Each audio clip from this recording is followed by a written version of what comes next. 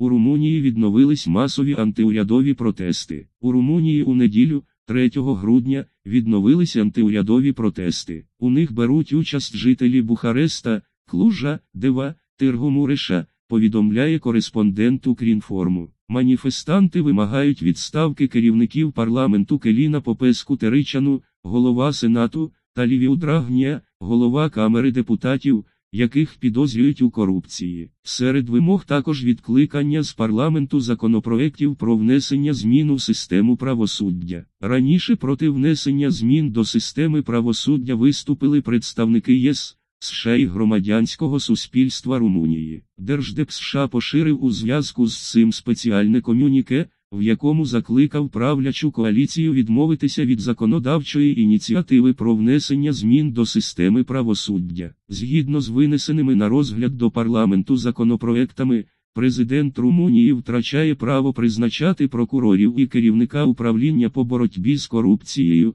а юридична інспекція підпорядковуватиметься не Вищій раді магістрату, а міністру юстиції. Нагадаємо, 26 листопада в аналогічному протесті взяли участь до 20 тисяч активістів. За матеріалами сайту Newsgра.com.